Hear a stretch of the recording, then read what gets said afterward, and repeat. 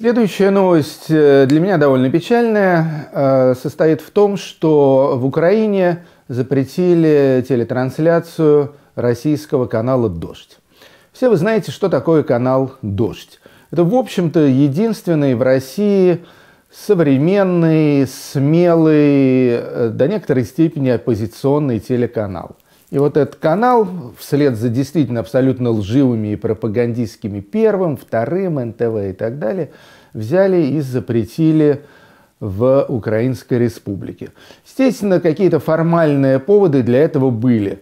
Карты, на которых Крым был э, приписан к России, какие-то мелкие нарушения рекламного законодательства, демонстрация фильмов, в которых э, показывались российские правоохранительные органы. В общем, понятно, что это все мелочь и что это все сугубые детали на фоне общем, на фоне того, что «Дождь» — это самый достойный телеканал в Российской Федерации. Единственный телеканал, благодаря которому средствами такого нормального вещательного телевидения, а не партизанских окопных акций, вроде нашего АРУ-ТВ, можно получить какое-то представление о том, что в России происходит.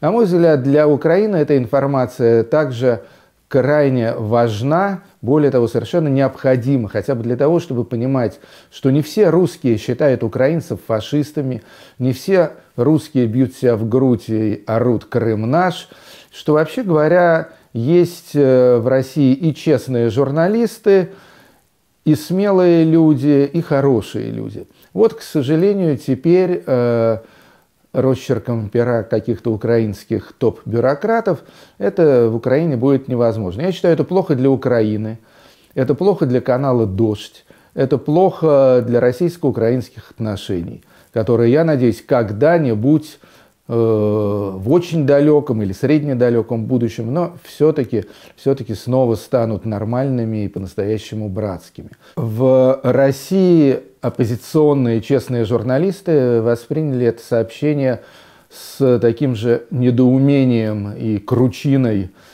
как я. Ну, а что касается до российского официоза, то для него это был большой, дорогой подарок. вот тут вот они могли бы оттоптаться на украинской цензуре, на отсутствие демократии в Украине, на отсутствие в Украине свободы слова и прочее, и прочее.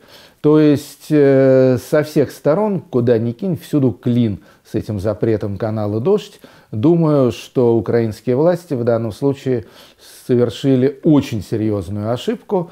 Э, может быть, даже если говорить о медийных делах, то самую серьезную ошибку за все время существования нынешних украинских властей.